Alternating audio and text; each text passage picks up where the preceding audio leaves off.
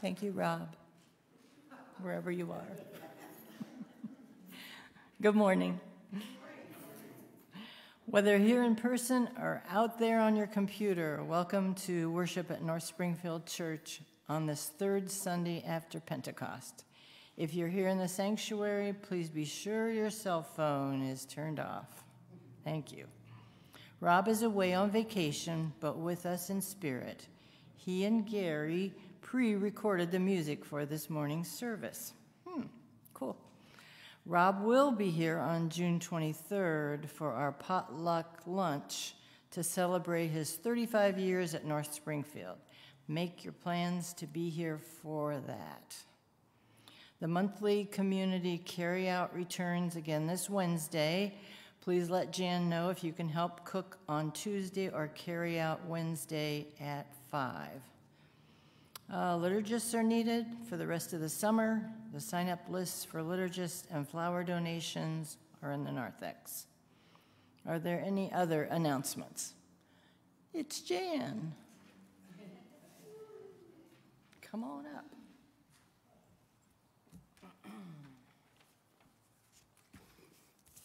Uh, just two things for the um, dinner or for the celebration for Rob Phillips we will pr be providing ham. And so bring anything else you want. So bring your favorite dish. I don't, doesn't matter, whatever you like. And uh, we'll have beverages as well. Invite your friends, family, anybody that knows Rob. Let's have a nice big crowd. Uh, the other thing is in the narthex, we still have these forms to fill out for the blessings box. If you did not fill out one, please do so. We want to include everyone in the congregation in this um, mission project in whatever way is, is that you're able to do it. And I'm not going to list all of the things, uh, but again, you can donate, you can help um, build it. If you um, want to just say that you're going to pray for it or something or invite people, please let us know. We want to make sure that everybody um, participates in this. And if I don't hear from you, you'll be hearing from me. So I, I, am not asking you to do anything. We just want to know how you can how you can help, and we want everyone. This is a this is a whole congregation activity, and it's, it's our mission. And we want to take that mission into the community, and we want to partner with the community. We want to involve them as well. So if you pick one of those up, you can put it. Um, put it in the, the, well, you probably won't have one for the plate. You can just give it to me afterwards. They're out in the narthex, or just give me a call and say, you know, what are the ways that, you know, that I can help. Thanks. Anyone else have an announcement? I guess not. Okay. If, if you're able to stand, let's do the call to worship. On this day, we gather with thanksgiving in our hearts. For God's love is ever constant in our lives. On this day, we will talk of all that is ours. Grace upon grace has been poured into our lives. On this day, we will speak of what we believe. We will sing God's songs for all that God has done. Our souls wait for you, O God. Our ears are attentive to your word. We hope for a clear understanding of your will for us. Let this time of community draw us together in unity with a sense of direction and purpose for our congregation and for our individual lives. Renew us within so that nothing we face around us can undermine our faith or cause us to despair. Grant us the eyes to see what cannot be seen and to gaze on what is eternal. May we revel in your work and be a visible witness of your invisible, yet present kingdom. Amen.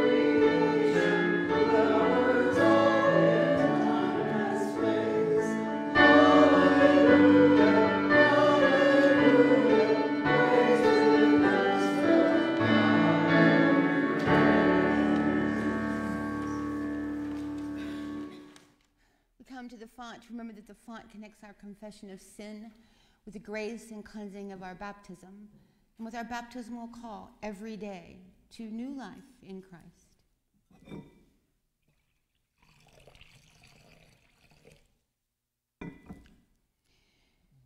We know what it is like to be rejected, but we also remember turning our backs on others. We have experienced conflict as well as caused pain to others. Let us confess our foolish lives to the one who seeks to forgive us on this day and on every day. Everybody else does it, oh God, and we confess that we do as well. We listen to those whose promises are sold to the highest bidders. We idolize famous people as if they were teachers of ethics. We long for that one person who will make everything right, once again, once and for all. Is it any wonder we are disappointed people? Forgive us for turning our backs on you, even as you continue to stretch out your arms to us. Forgive us for trusting in those who prove to be false, rather than having faith in your love. Forgive us and fill us with the spirit of faith which is given to us in Jesus Christ. Let us take this time of silence for personal reflection and confession.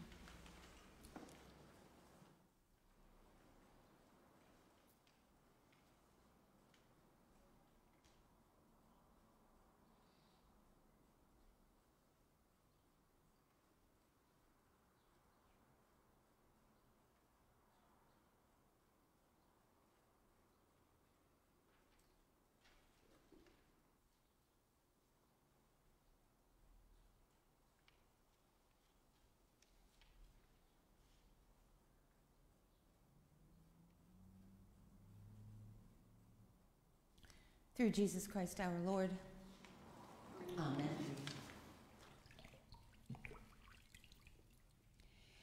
Do not lose heart. God seeks to strengthen our souls, filling us with forgiveness, wonder, and joy. In Christ we are forgiven. Thanks be to God. As God has forgiven us in Christ, let us forgive one another. The peace of our Lord Jesus Christ be with you all. Please turn to one another with words and gestures of peace and reconciliation. For those of you at home, the peace of Christ be with you.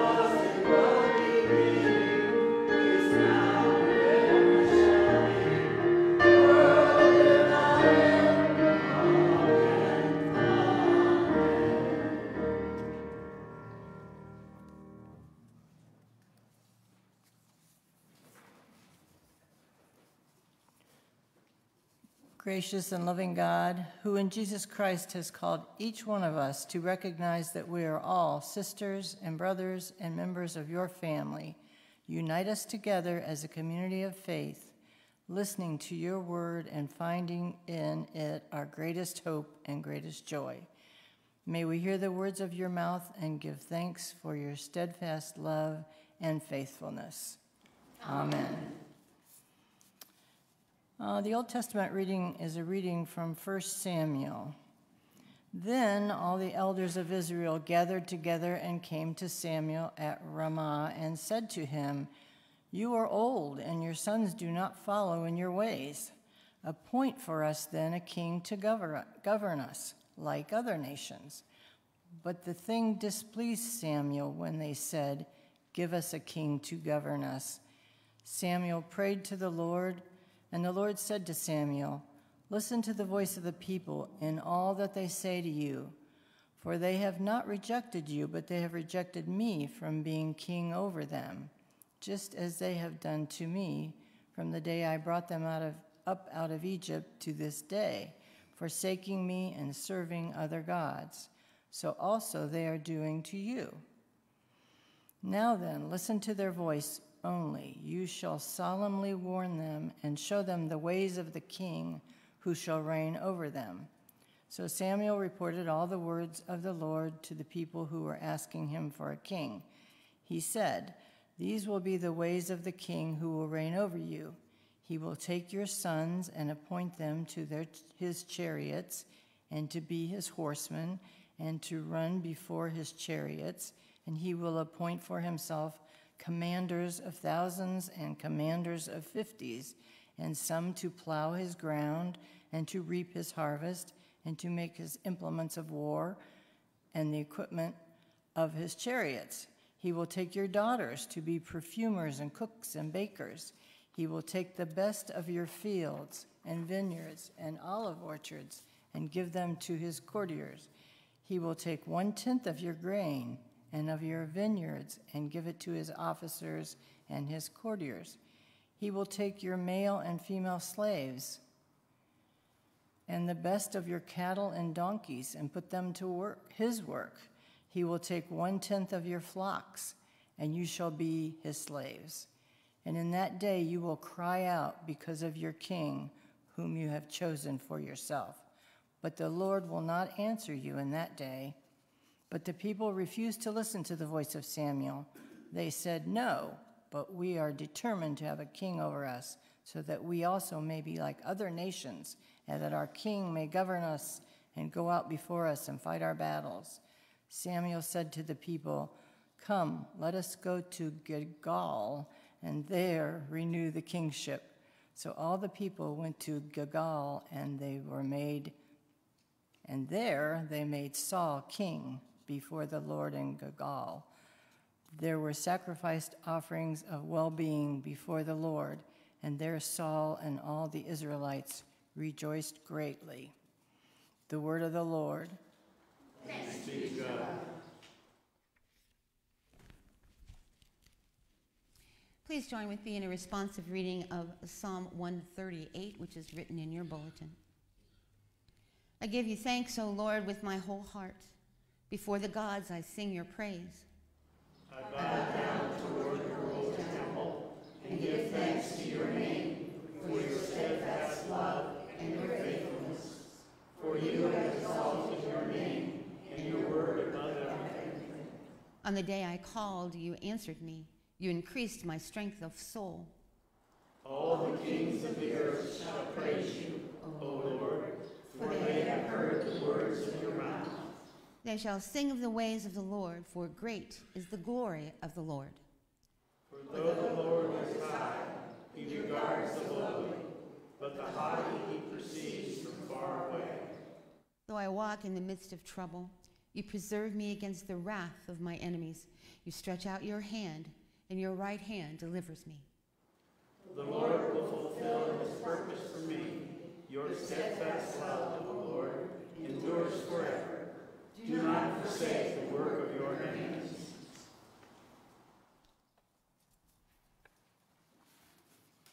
The epistle reading is a reading from Second Corinthians. But just as we have the same spirit of faith that is in accordance with Scripture, I believed and so I spoke we also believe, and so we speak, because we know that the one who raised the Lord Jesus will raise us also with Jesus, and will bring us with you into his presence. Yes, everything is for your sake, so that grace, as it, as it extends to more and more people, may increase thanksgiving to the glory of God. So we do not lose heart, even though our outer nature is wasting away, our inner nature is being renewed day by day. For this slight momentary affliction is preparing us for an eternal weight of glory beyond all measure, because we look not at what can be seen, but at what cannot be seen. For what can be seen is temporary, but what cannot be seen is eternal. For we know that if the earthly tent we live in is destroyed, we have a building from God, a house not made with hands, eternal in the heavens. The word of the Lord. Thanks be to God.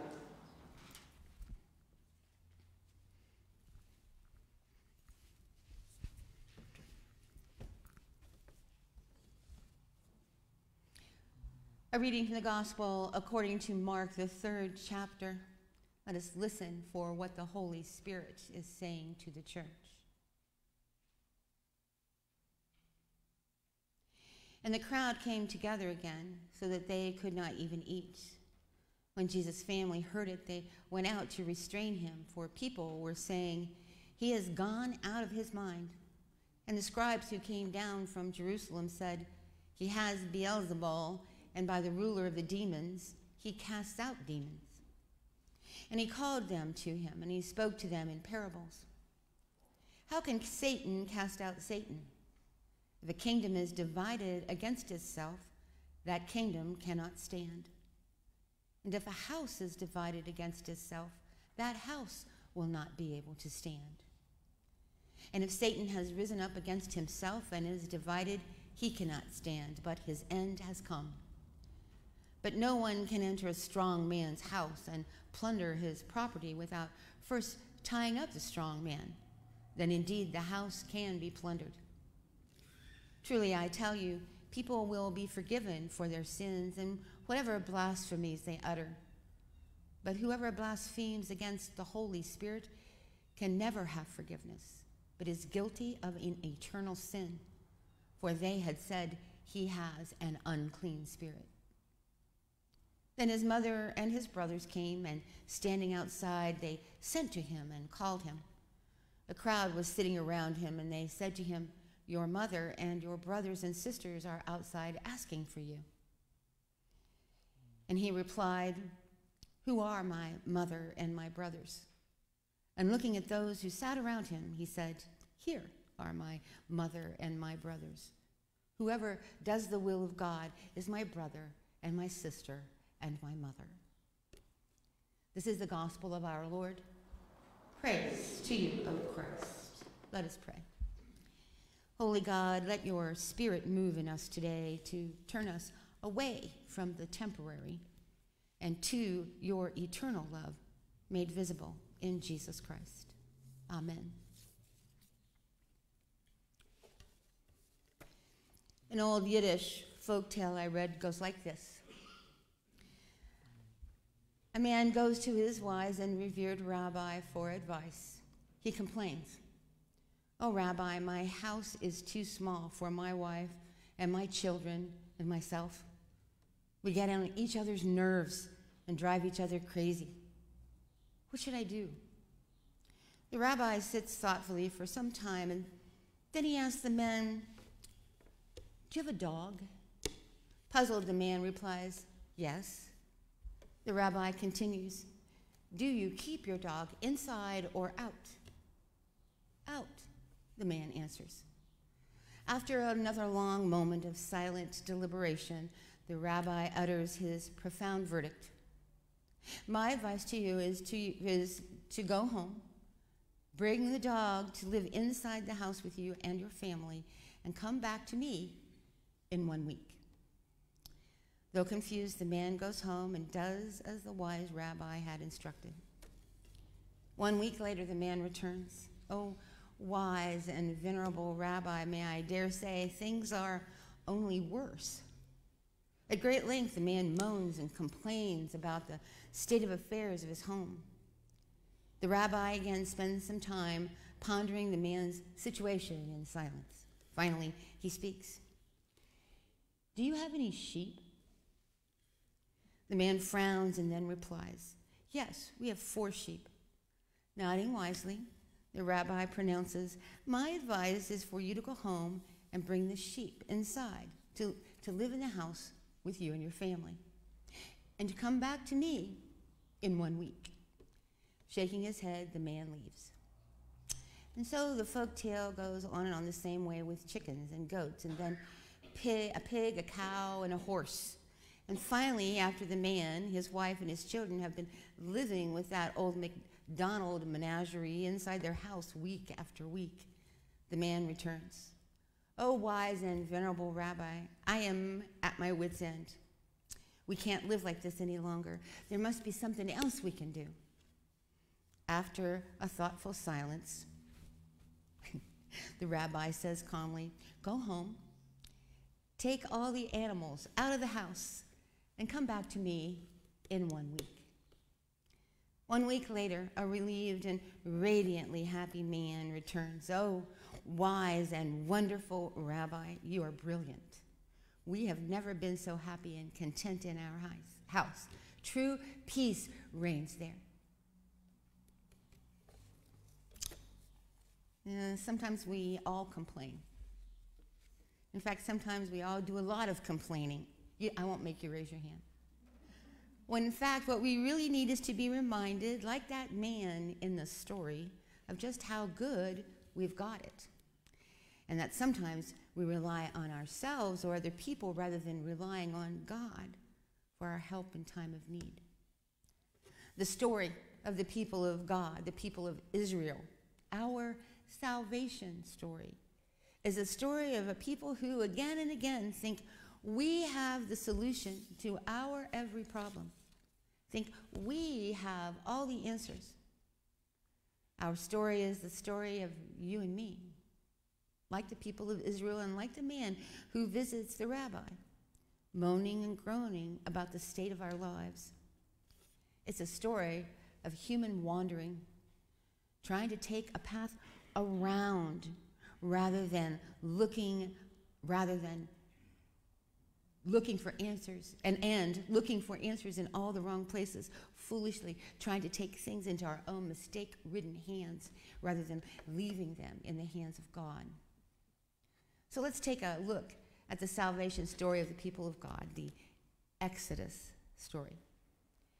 The people of Israel had been living as slaves under the tyrannical and brutal rule of the Egyptian pharaohs and the slave masters, making bricks to build all those pyramids. They cry out to God, and God amazingly and miraculously sets them free through a series of amazing acts of power and miracles on God's part. The ten plagues, the parting of the Red Sea, the pillar of cloud by day and the pillar of fire by night. God leads them toward the promised land, the land flowing with milk and honey. Ah, but the way there goes through the wilderness. Now, biblical scholars estimate that it's about a 40 day journey through that wilderness, just a little over a month. But the people try to take the situation into their own hands.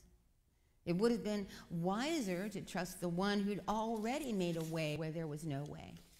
But they did not. Instead, they come up with their own solution. And their solution is to whine and complain, to bicker and fight. Their solution is to rely on the, their own power and wisdom, or the lack thereof, with the result being that it takes them not 40 days to get to the promised land, but 40 years. In big and small ways, they wandered far away from the path. In big and small ways, they moaned and groaned and whined and complained and tried to come up with their own solutions rather than looking to the one who is the solution. For example, the story shows them complaining about the food in the wilderness. Gee, back in Egypt, we had good meat with onions and spices. Here we just have this tasteless hardtack that's just flour and water. And even that's almost gone. Their solution? We want to go back to Egypt. Now, Moses tries to remind them yes, but you were slaves in Egypt. Remember? Remember the whip the oppression, the abuse, the killing of all of our baby boys, the slaving away brick after brick, the crying out for God's rescue. Nevertheless, not just a few, but the whole congregation complained against Moses and Aaron for leading them into the wilderness. But was it Moses and Aaron who led them there? No. It was God who turned the Nile to blood, who turned day to night, who parted the Red Sea, who provided an exodus, who provided them a way out. So Moses goes to God, and I can imagine he complained too. These people you gave me, they're driving me nuts. We're camping and they want fine dining. You rescued them, and they prefer the misery that they were living in. You got me into this. What do I do now? God's solution. Tell them I've heard their complaining. I'll send them quails every night and manna every morning. Literally, food from heaven. But the human memory is pathetically short, and almost immediately they complained again. This time about the food that God showered on them from heaven. This manna, it is so boring day after day after day. And there's only so much that you can do with it. They also tried to take things into their own hands again. They'd been told to take only what they needed for each day. But some tried to hoard it, trying once again to come up with their own solution. Maybe if we saved up a bunch of it, we could do more with it. But the hoarded manna, we know, turned rotten and bug infested. God's little reminder to us every time we take things into our own hands or come up with our own solution, God creates a situation where we have to come back to God each day for what we need to get through that day. This pattern is in the book of Judges, too. The people turn away from God, try to come up with their own solutions, try to rely on their own power and wisdom, and everything falls apart. They turn back to God, cry for God's help, and God, God gives them a solution. God raises up a leader, a God appointed judge who leads the people in the way of, of, of God. And things go pretty well for a period of years until that judge dies. And then they turn back to God and God gives them a solution by raising up another judge. And on and on it goes. And this pattern repeats over and over. until finally the story comes to a climax in today's reading from 1 Samuel. When the people whine and complain, we're sick of these judges who only rule for a little while. We want to be like everybody else. Why can't we be like our neighboring nations? They have a king. We want a king. The people of God sound like teenagers here, right? Well, he has a tattoo. Why can't I have a tattoo? She's allowed to stay out until midnight. Why can't I stay out until midnight? The people of God, like teens facing peer pressure, cry out, They have a king. Why can't we have a king? We want to be like them. Now, you may wonder, as do I, why does God keep helping them? Doesn't God get sick of that? Well, yeah, probably. And I would think that God, you know, sometimes gets angry too. But the more we enter the story of the people of God from a human perspective, the, the more we understand the misconception of the wrath of God. The wrath of God, a concept prevalent in the Hebrew Bible, the Old Testament, has always bothered me. And then, when I was doing research for a paper in seminary, I discovered that the wrath of God can actually be better translated into the burning love of God. God was compared to a mother lion who roars with protective, burning love when her cubs are threatened or endangered in any way, even by their own stupidity or foolishness. God is like those of us who are parents who burn with angry love when our children hurt each other, when they turn away from us, their mothers and fathers who love them, and foolishly wander down a wrong path, a path we know to be dangerous. In the Hebrew Bible, God's wrath, God's burning love, is displayed whenever God's children hurt each other, fail to treat each other as children of God, turn away from God or turn away from becoming the people God created and desires them to be. Anyway, the solution of the people of God again and again, our solution, is to take things into our own hands, to look for answers in the wrong places, to look for power and wisdom in ourselves or in other flawed human beings. How often have we complained and forgotten that the one who has rescued us in the past and who showed us a way will bring us to a new and promised place if we just trust? I'm reminded of a news story I read about a girl named Megan who a few years back won the Ohio Division III Girls High School track title in the 1600 meter with her fastest time ever and that's quite an accomplishment. But it's what happened in the next race she qualified for, which she did not win. That was certainly her greatest triumph. In that race, well ahead of her, was another runner who was obviously struggling and had fallen twice already in that long event. By the time Megan caught up with her, she'd fallen a third time. Megan stopped when she came up to this athlete from an, another school and she put the girl's arm around her own neck and she held her up until together that they reached the finish line.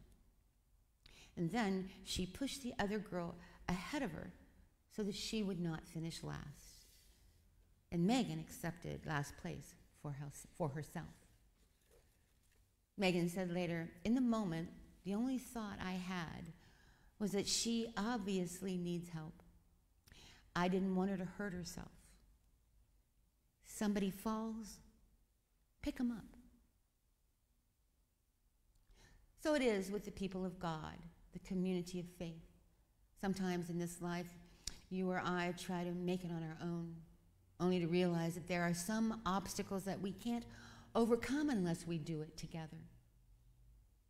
Sometimes in the church, we take things into our own hands, come up with our own human solutions. And the result can be fighting divisions or getting so aggravated with one another that we think of leaving someone behind or just dropping out. In either case, the whole mission of God suffers. As Megan so aptly demonstrated, it's together, holding each other up as we limp along in this broken world that we can best cross the finish line. Is together, praying and trusting in God's solutions that we can best let the way of God reign. Every Sunday, we're given a power, powerful reminder of the way we try to solve solutions on our own. We begin our worship confessing our foolish and failing solutions. Then, when we admit our need for God, we're reminded of and we are granted God's solutions should we decide to live them forgiveness, freedom, reconciliation, and love, unity. And every Sunday, we're reminded as well of something the Alcoholics Anonymous 12 step program so wonderfully points out for us. There is a God, and we are not it. Let us pray. Lord, you invite us to be part of your beloved community. Help us to remember that we belong to you, and through the power of the Holy Spirit, to listen to your voice as you lead and guide us into your will. Help us to remember that we belong to one another as well, united as brothers and sisters in Christ. Amen.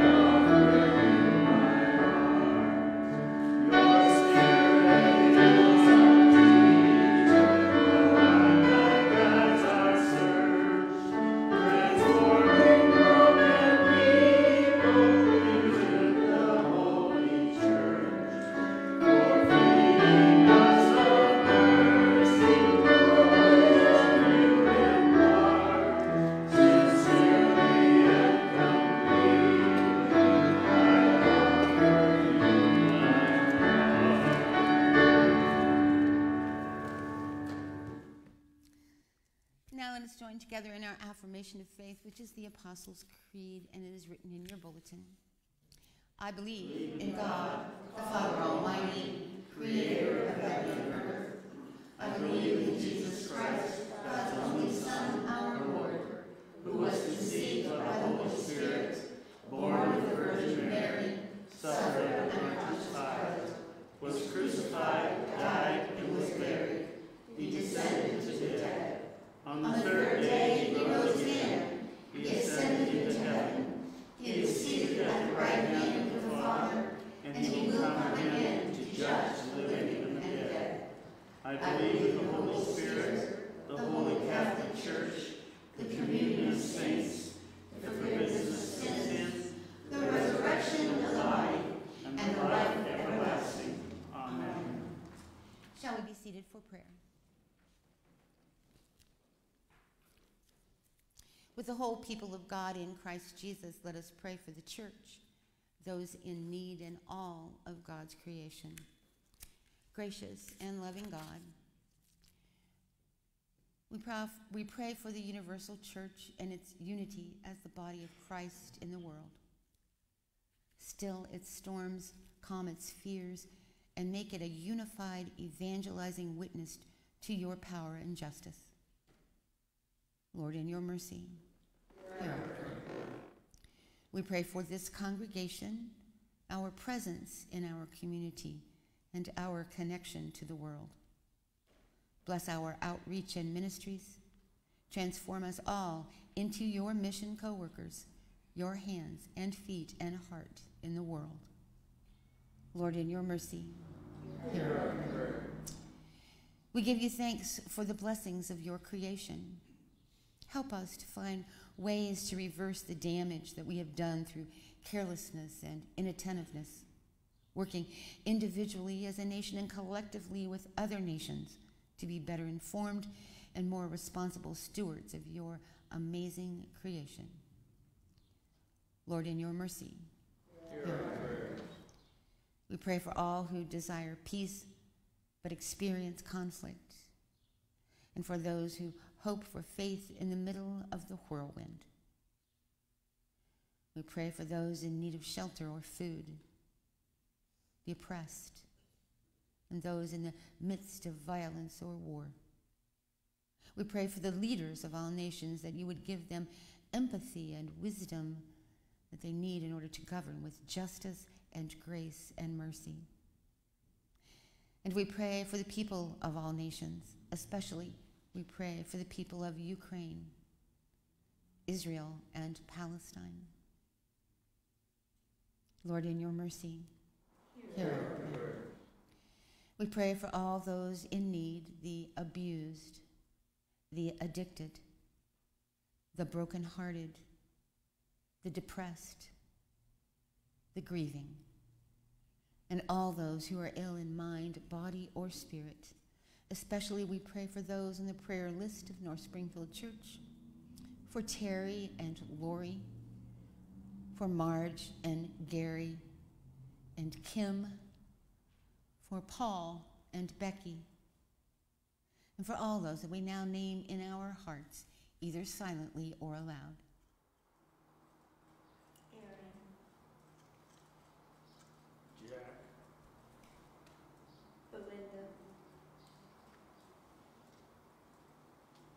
Lorna, Rick,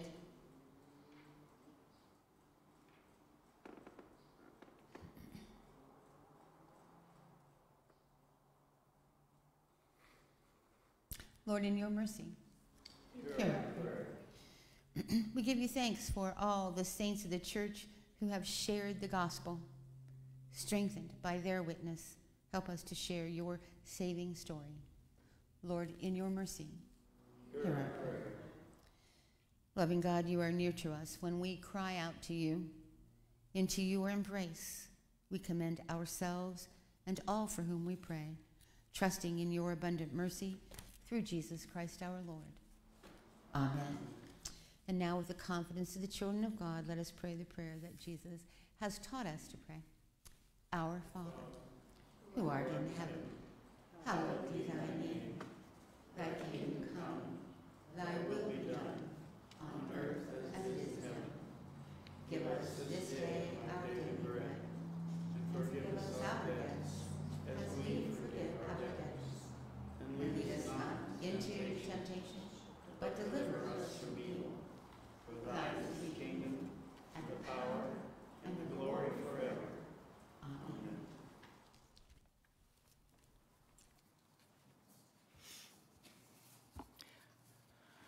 Who are Christ's brothers and sisters? Those who do the will of God, loving God, loving neighbor. We share what we have as members of the household of Christ. In an attitude of love, then, let us receive our tithes and offering.